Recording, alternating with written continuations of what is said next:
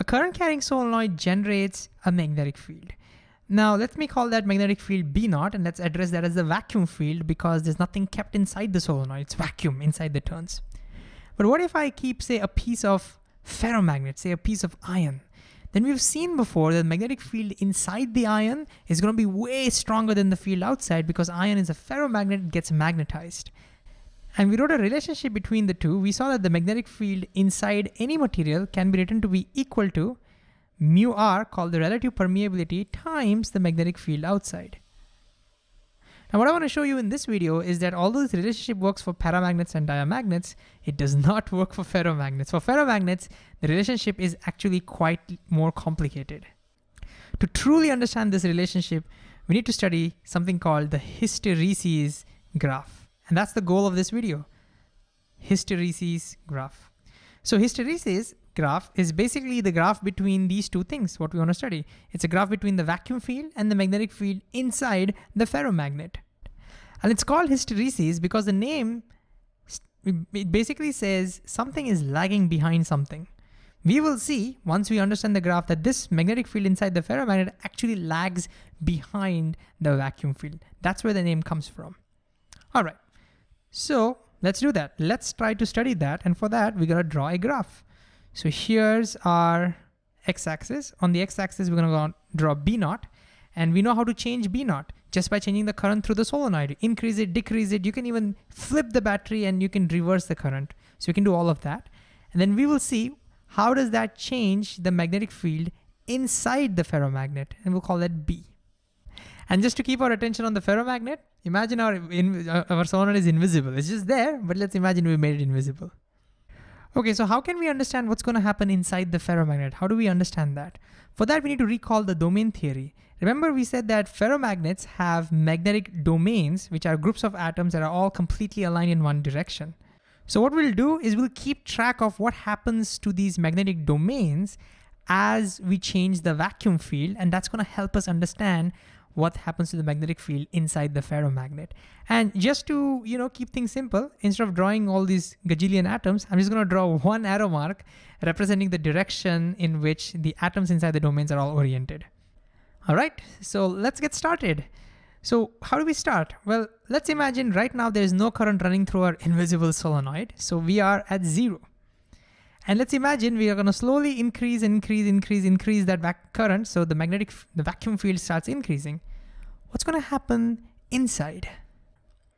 Well, we have seen before that when you expose a ferromagnet to the magnetic field, the domains tend to get, domains tend to turn and get aligned in the direction of the field.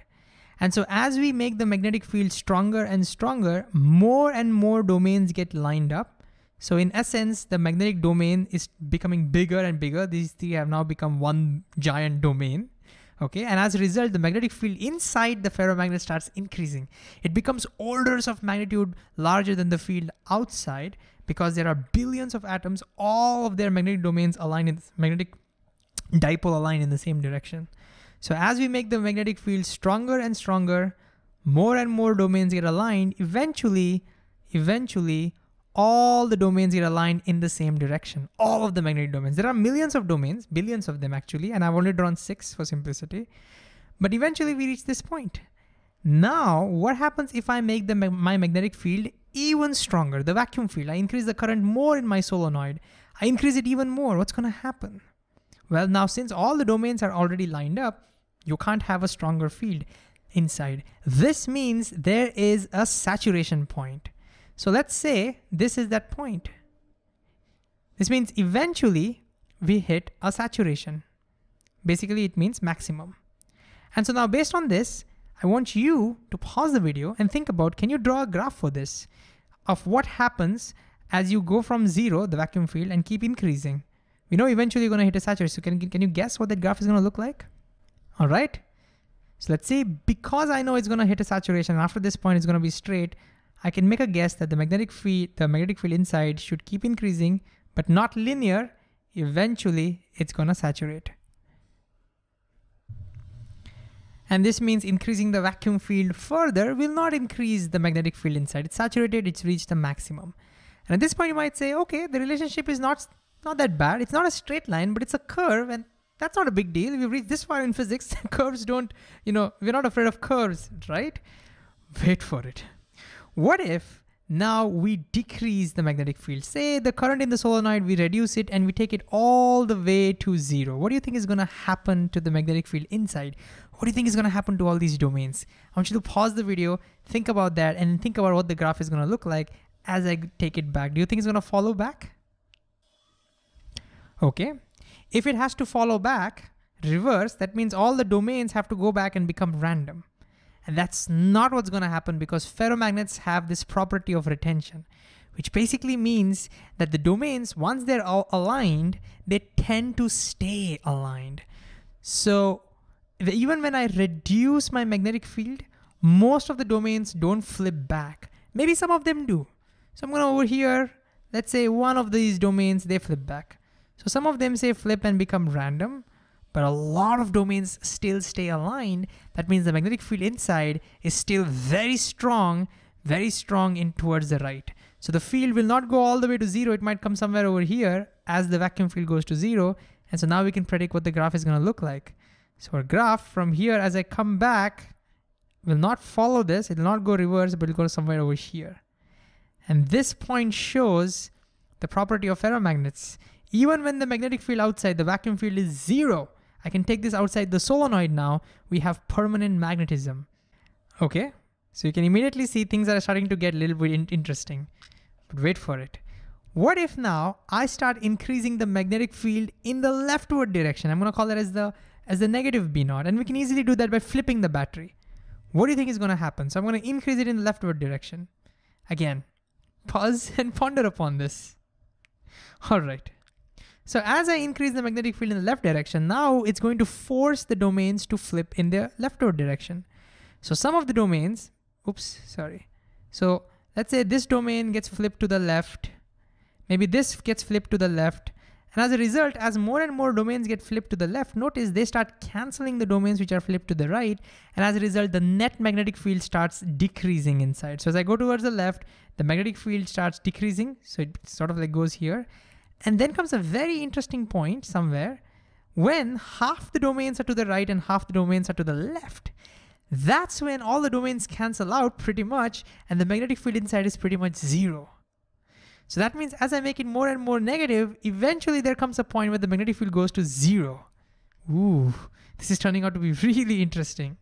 So now the graph continues and eventually goes to zero.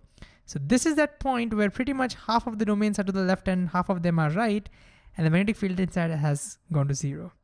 But we won't stop there. We won't stop there. We're gonna increase our magnetic field even further. What if I make that field even stronger to the left? Well, then the story continues. More and more domains, oops, more and more domains are gonna start getting flipped to the left, and eventually it'll saturate in the leftward direction. So what will the graph look like?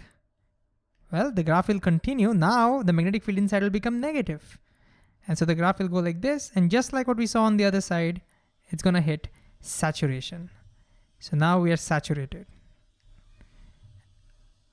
Pretty much the same value as we had earlier, but now in the leftward direction. So this will be again B saturation.